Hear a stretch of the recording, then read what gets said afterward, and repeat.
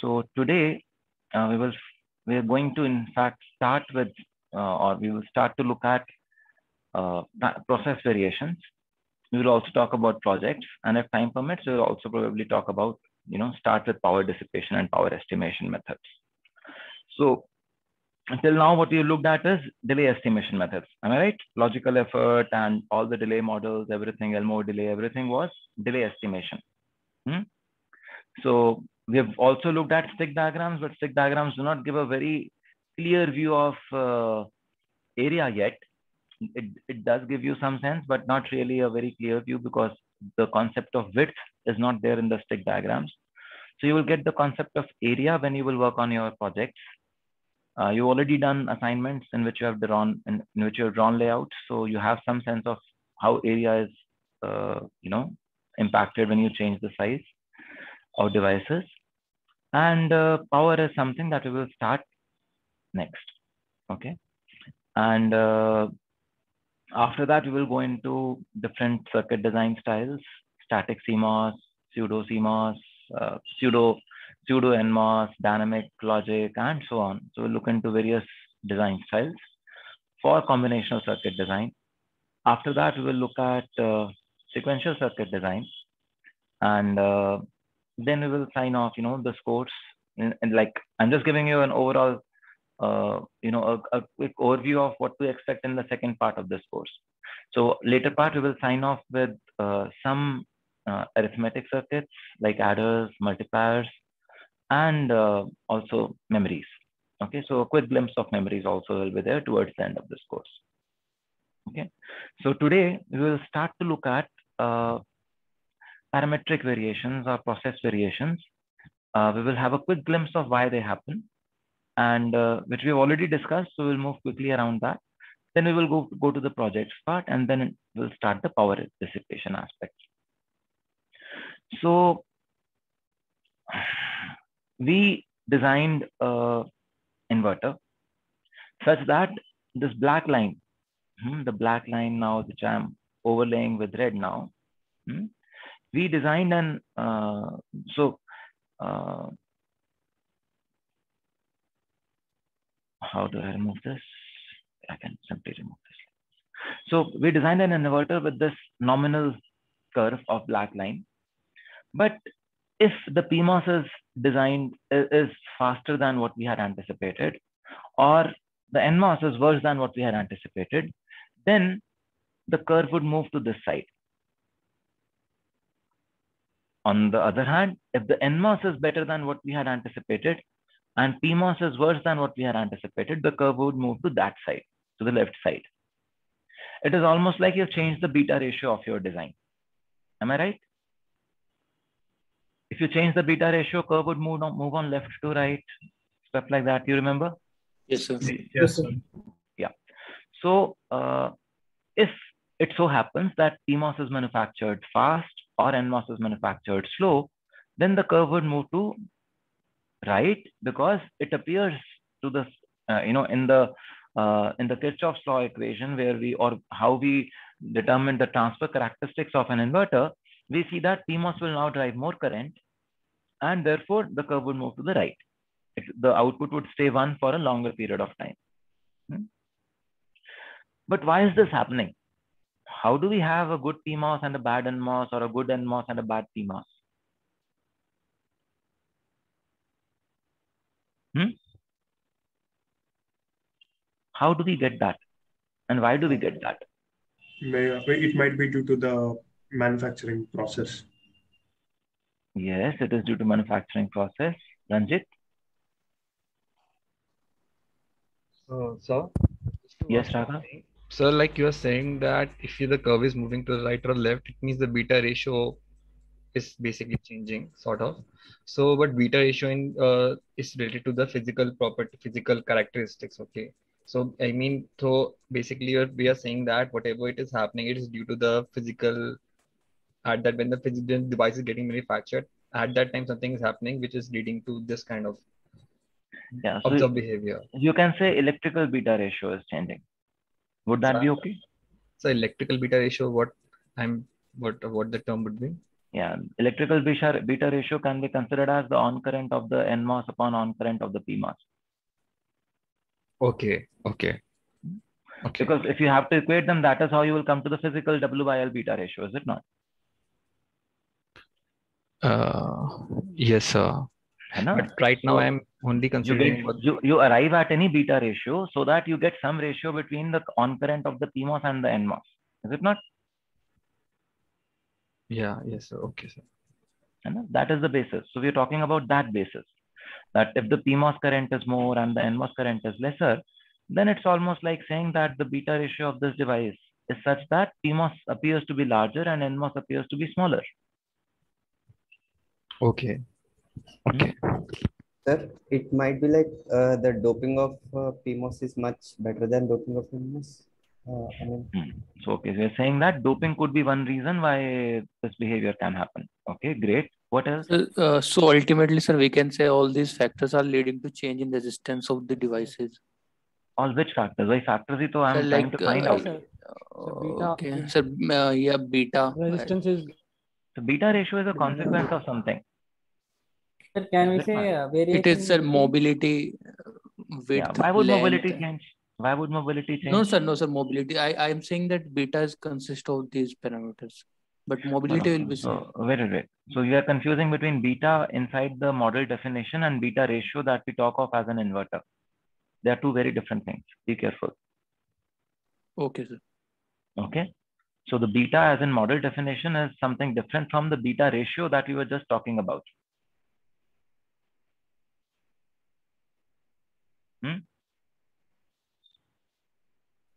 Sir, can this be due to variation in VT?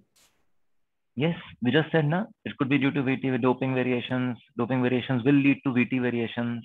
Yeah. Uh, in the chat window, someone is saying TOX variations. Okay, yes, TOX variations will also lead to something like VT variations. So does Bit it have variations, yes, definitely. does They are they are a direct impact on beta ratio. Faisal, So does it have to do something with the, the temperature? temperature means? Means if the temperature varies, then the uh, like mobility of charge can vary. Of that will charge can vary. vary. Yeah, see, in this situation, when we are plotting them on the same graph, we are assuming over here that the voltage of operation and temperature remain same. Okay. But okay. even then, something has happened. Yes.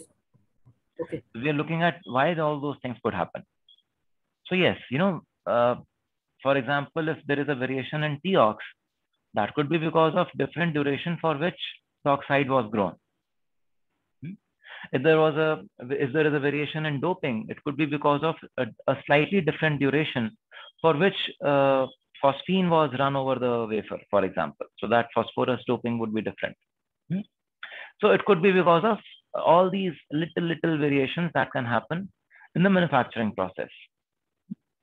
So have we done this exercise in the class already where I asked you to uh, write something 10 times on a piece of paper? Have we done that exercise? Yes, Yes. sir. So you know that they will, when in a manufacturing process, there can anyways be some variations that can happen. However controlled, however well controlled the process would be, there would still be some variations. And they lead to what we call as device variations. And these device variations are then modeled into what is called as process lots. These variations are due to, as we just said, uh, VT, oxide of an uh, oxide thickness of NMOS and PMOS, effective length, effective width, and so on.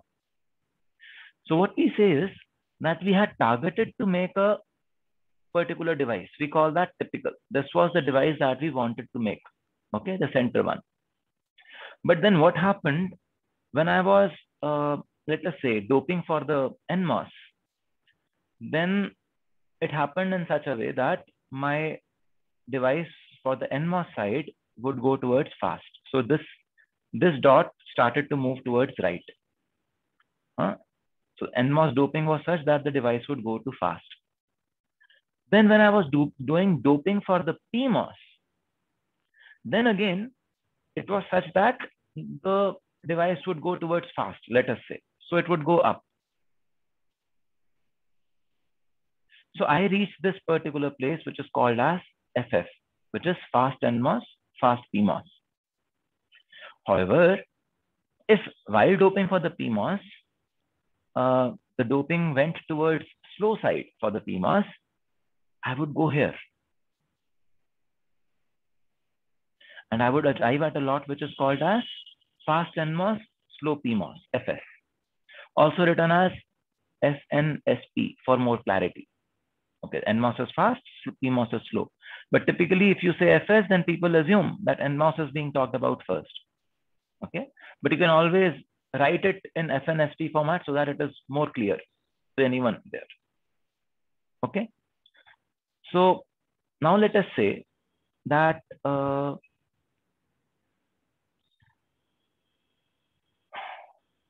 not just so we said that uh, the doping for NMOS was towards fast, doping for PMOS was also towards fast, so I reached here. Now we say that the etching of the poly when we were defining the gates, that also happened for a few milliseconds more. So what happened? Both NMOS and PMOS became a little faster.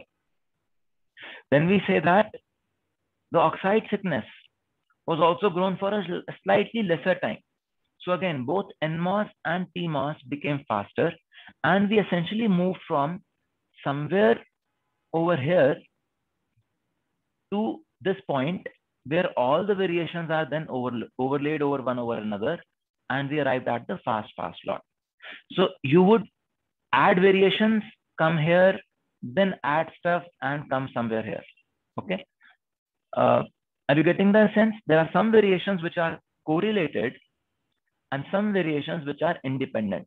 For example, NMOS and PMOS dopings happen in different steps. So they are independent. NMOS can be doped more and PMOS can be doped less.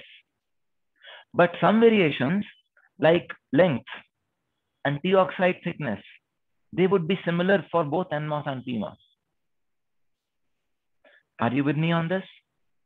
Any questions?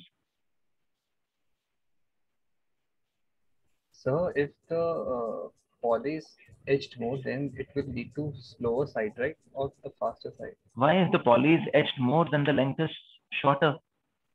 If the length is shorter, so in the IDS current equation, if you just go to that equation for once, uh, how does the length appear in the equation? W by L.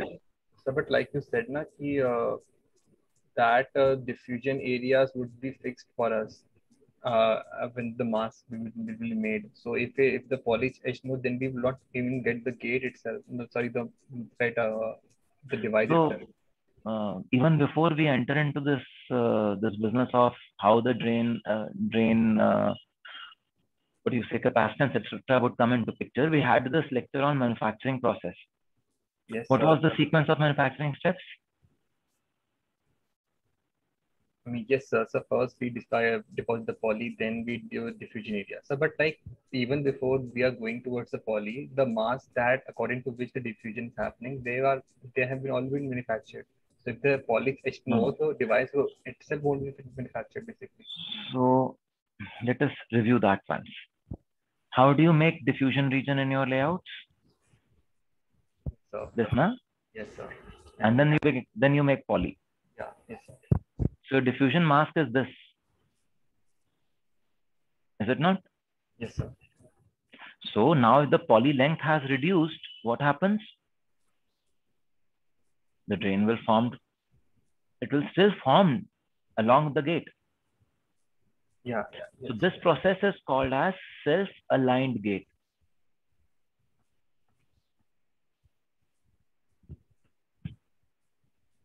And it's a very powerful process because then whatever variations happen to the length, the poly may shift this side, that side, whatever happens, my transistor action will not be impacted. My source and drain will be aligned to the gate at all times. Do you see that?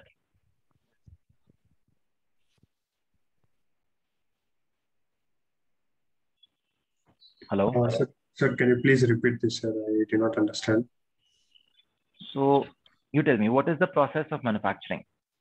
What are the steps how we manufacture a, a transistor? Uh, so first we'll have the substrate, then uh, uh, we will uh, introduce the N-well. After that, uh, we will uh, deposit the field oxide along with the gate oxide, and then we do the etching.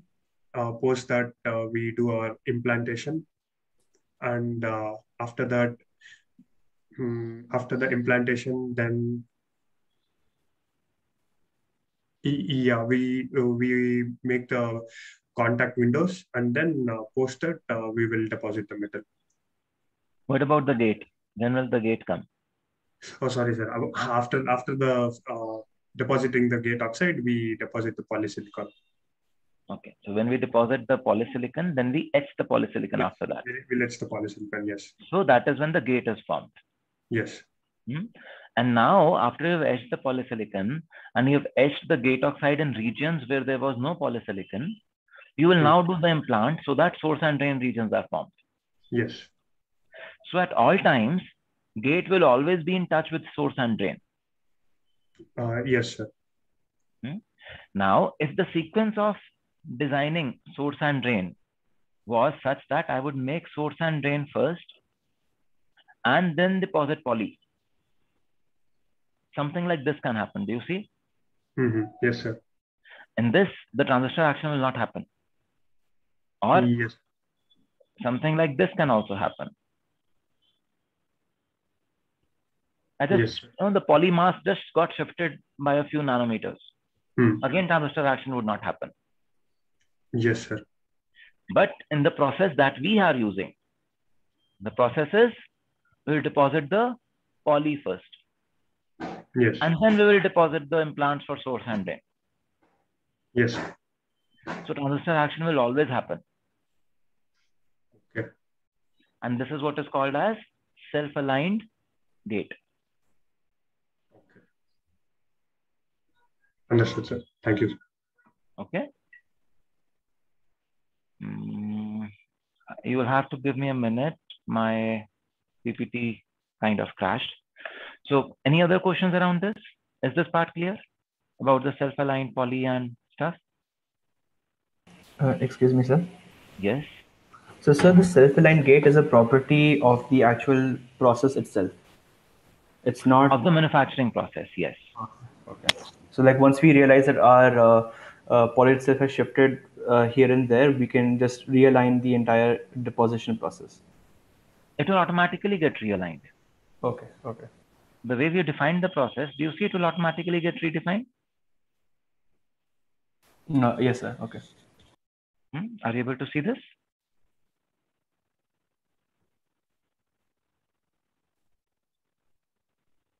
So what are we talking about? We are saying that I will deposit the gate first. Now let us say the original position of gate was this, but I deposited gate a little to the left. After I have deposited the gate, I will do the implant for source and drain. So what happens now? The implant for source and drain happens like this. I still have source and drain there, which are connected. So the transistor action will still happen in this region, even if my poly got misaligned.